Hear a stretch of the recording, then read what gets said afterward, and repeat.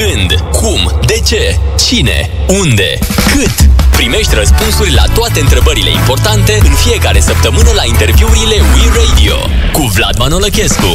Da, am primit ieri un comunicat de presă care ne spunea așa Hotelul Daniel Castle din Tălișoara, județul Covasna A primit premiul pentru cea mai bună afacere familială din Europa A fost o ceremonie organizată miercuri seară la Bruxelles, în Parlamentul European La care a participat și uh, Lilo Raț uh, uh, de la Hotelul Daniel din Tălișoara Și am zis, ia să discutăm noi, să vedem un pic cum și care e rețeta acestui uh, succes. Liro este în studioul nostru în această dimineață. Să rămână bine venit la noi. Bine v-am găsit. Uh, cum a fost uh, excursia la Bruxelles, în primul rând? Și cum ai primit această, această veste și această distinție? Uh, a fost o surpriză și pentru noi să primim această distinție. Știam de nominalizare încă de la începutul anului, după care am și uitat de ea, așa că a venit ca o surpriză ca tocmai noi să primim uh, această distinție și chiar a venit întrebarea și pentru mine și poate că se întreabă și mulți dintre ascultători cum de am primit noi acest premiu. Ce concurență uh, ați avut? Nu știm, deci practic fiecare Cred că fiecare stat sau membru al juriului din uh, organizația SME Europe a propus câte o afacere. Pentru fiecare dintre categoriile, 9 au fost în total categorii premiate, uh, pentru fiecare din categoriile premiate și din acestea juriul a ales probabil. Pe știu, criteriile doar de ei Pe știute? criteriile doar de, uh, parțial doar de el știute uh, și atunci când am primit și noi vestea, întrebarea pe care am spus, am pus-o este chiar merităm noi acest premiu, suntem cea mai bună afacere familială din Europa și, într-adevăr, nu trebuie să înțelegem că s-a făcut o recenzie a tuturor SMI-urilor la nivel european, însă, pe baza propunerilor s-a făcut o alegere și unul dintre criteriile importante despre care știm că a fost un criteriu este acela ca impactul avut de către afacerea respectivă să fie dincolo de aria mică de, de comercială până la urmă. Comercială până la urmă. Și atunci cred că acesta a fost ce au apreciat uh, cei din juriu. Hai să vedem un pic istoria acestui uh, castel și istoria voastră legată de acest uh, castel. În mai 2011, castelul Daniel a fost redeschis publicului.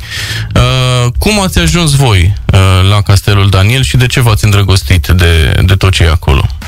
Uh, noi am ajuns la Castelul Daniel dintr-o întâmplare, din soartă, nu știu.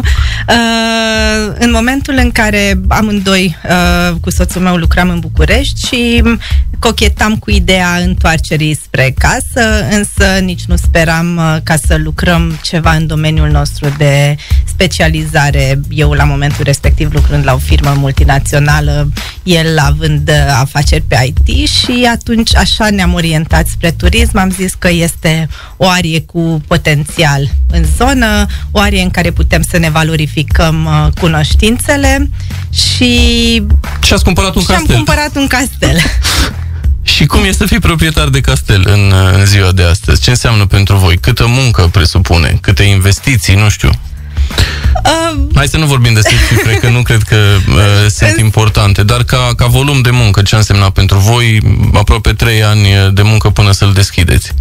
Uh, înseamnă o muncă considerabilă, deci practic faptul că renovezi uh, o clădire și nu care ci o clădire istorică presupune un extra față de o casă, fiindcă totdeauna se ivesc uh, chestii neașteptate, chestii noi la care trebuie găsite soluții și ca să poți să păstrezi uh, cumva sufletul locului, trebuie să lucrezi foarte aproape cu proiectanții, cu designerii și să cauți soluții custom la tot ce se ivește. În ce stadiu era castelul când l-ați cumpărat?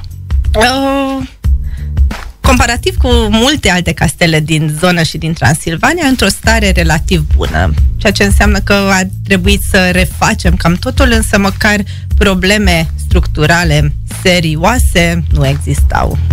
Domeniul de acolo ce mai cuprinde în afară de, de clădirea propriu-zisă, de castelul propriu-zis? Uh, domeniul este în continuă extindere. Uh, momentan uh, cuprinde castelul și curtea din zonă, însă în foarte curând vom lansa uh, clădirea renovată a castelului mic, care este în aceeași, pe același domeniu, cu alte 12 camere și cu un centru spa în pivnița boltită a clădirii respective. Vorbeam și înainte să intrăm în direct despre cum s-au schimbat și turiștii în ultimii ani. Uh, cum vezi tu evoluția asta în șapte ani de când, uh, de când aveți castelul de la Tălișoara? Uh, evoluția este una foarte pozitivă. Atât uh, turiștii autohtoni, cât și turiștii din străinătate și-au îndreptat atenția către Transilvania și vin din ce în ce mai mult și caută experiențe autentice, relaxare, uh, o alternativă la locurile mult prea mult aglomerate din anumite părți ale țării și atunci, da, Uh, aveți liber la castel pentru evenimentele mari sau sunt rezervate din timp și lumea se cam bate pe locuri? Vorbeam de Revelion care e rezervat uh, care de este mult. rezervat uh, de mult uh, și da, este din ce în ce mai greu să prinzi un weekend la castel. Cu ce îi atrageți pe oameni acolo, în afară de frumusețile naturale, să zicem, ale, ale zonei? Le pregătiți programe speciale, îi duceți la plimbări da, în noi zonă? oaspeților, pe lângă faptul că clădirea în sine și experiența cazării este una deosebită, uh, propunem de obicei trei arii tematice mari. Natura din zona, așa cum ai zis și tu, în principiu cheile Vârghișului în Oceanotimp este splendid. Um, meșteșugurile tradiționale din zonă și avem colaborare foarte bună cu mai mulți meșteșugari din zonă pe care îi vizităm și care fac uh, prezentări, demonstrații uh, oaspeților și alte castele conace din zonă, Castelul Daniel de la Vârghiș, uh, Muzeul de la Castelul uh, din Micloșoara. Sunt uh, turiștii români predominanți la castelul vostru sau vin și turiști străini foarte mulți? Uh, Sunt românii, turiștii autohtoni predominanți, deci 80-80%, 50% din oaspeții noștri, însă turismul dintre uh, străinătate a devenit, devine din ce în ce mai important. Uh, Anul trecut a fost anul turismului în județul nostru. Uh, Autoritățile locale au insistat foarte mult pe acest uh, domeniu. Uh, Cum colaborați cu Consiliul Județean sau aveți colaborări cu uh, Asociația de Dezvoltare a Turismului? Există un program, nu știu, să mergeți împreună, să vă promovați reciproc? Să... Uh, da, a existat și există în continuare o colaborare foarte bună și este o inițiativă foarte bine primită și din punctul nostru de vedere faptul că avem o promovare la nivel central și până la urmă în acesta constă cheia succesului. Trebuie să ne builduim brandul și, și să ieșim pe piață și chiar avem potențial ca Uh, și zonă. Premiul ăsta pe care l-ați primit uh, miercuri seară la Bruxelles, ce înseamnă pentru voi? Uh, premiul acesta uh, pentru noi înseamnă o... O să-l puneți într-o ramă la intrare? Nu știu. L-am primit într-o rabă. uh, premiul înseamnă o, o recunoaștere și o reconfirmare a faptului că, până la urmă, în ceea ce investim noi uh, bani, timp și pasiune, este ceva care merită și care face o diferență. Uh, pe de altă parte, chiar aseară mă uitam la un interviu care prezenta uh, noua carte a lui uh, Bărba și Albert Laslu, Formula Succesului și m-a pus pe gânduri că, da, într-adevăr, este un premiu, putem să-l promovăm sau nu-l promovăm. Până la, și acolo el spunea că în afară de sporturi, unde performanța este foarte ușor și concret de măsurat, în toate alte domeniile, uh, performanța și cheia succesului este dată atât de performanță cât și de percepția celorlalți despre tine. Și atunci cred că este foarte important atât pentru noi ca să ne construim succesul, să uh, avem o astfel de distinție, pe cât și pentru toată regiunea, adică să ajungi să vorbești la Parlamentul European uh, cu membrii ai Parlamentului din diverse țări despre Transilvania, despre ceea ce înseamnă ea ca și cultură, ca și turism. Uh, cred că este o oportunitate foarte bună atât pentru noi cât și pentru toată regiunea de a ne promova. Cum vezi viitorul turismului în țara noastră? Se insistă foarte mult la nivel declarativ, cel puțin. Există dezvoltare și în uh, practică? Se vede acest lucru? Uh, lucrurile... Încep să se miște. Noroc că se întâmplă chiar și de la sine și încep să se miște.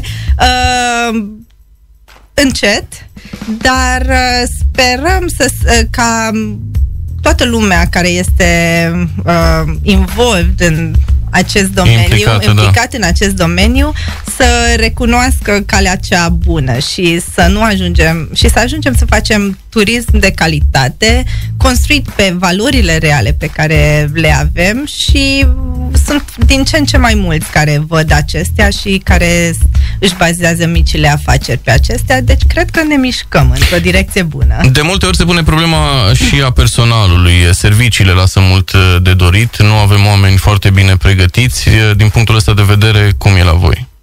Uh, ne considerăm foarte norocoși din punctul acesta de vedere și cred că pe lângă faptul că avem o clădire istorică care dă un extra serviciilor noastre, uh, marea diferență o face personalul, care se implică și care pune suflet la fel de mult cum punem și noi și acesta nu înseamnă că toți, toți sunt calificați sau au fost calificați de la bun început, însă noi am ales să lucrăm cu niște oameni care se implică, care fac treabă și pun pasiune în ceea ce fac și acesta se vede foarte mult și pe feedback-ul primit de la oaspeți.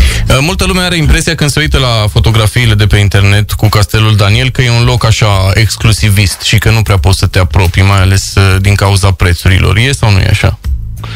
Uh, sunt două opinii aici. Avem oaspeți care ne spun că suntem prea ieftini. Ah, și, uh, pe de altă parte, noi de la bun început uh, am zis că nu o să închidem definitiv uh, uh, porțile castelului și da, suntem conștienți că sunt mulți uh, oaspeți care poate și ar dori, dar nu-și permit să se cazeze o noapte la castel și atunci uh, deschidem porțile castelului destul de frecvent la diferite elemente, evenimente culturale. Uh, nu de mult am avut uh, întâlnirea uh, un concerte renascentiste, uh, am avut uh, concerte de trompete, tot felul de evenimente. De trombon a fost De la trombon un a da. fost, așa este. Uh, felicitări încă o dată pentru, pentru acest uh, premiu. Uh, hotelul Daniel Castel din Tălișoara, repet, pentru cei care n-au prins începutul acestei discuții, a primit uh, miercuri la Bruxelles uh, premiul pentru cea mai bună afacere familială din uh, Europa. Uh, firma covosneană condusă de soții Lilo și Otilo Raț a fost nominalizată la premiile SME Star Awards de europarlamentarul uh, Iuliu Winkler uh, din partea uh, UDMR. Decernarea a avut loc uh, în cadrul unei gale organizată miercuri seară la Bruxelles, în Parlamentul European, la care a participat și Lilo, cu care am vorbit în ultimele minute aici în studio. Felicitări încă o dată, vă dorim mult succes în continuare. Uh, Este foarte frumos ceea ce ați făcut uh, voi acolo uh, și iată că toate eforturile voastre din ultimii ani sunt și recunoscute la nivel uh, internațional. Mulțumesc mult că ți-ai făcut timp pentru discuția de uh, astăzi și succes în continuare. Mulțumesc pentru invitație.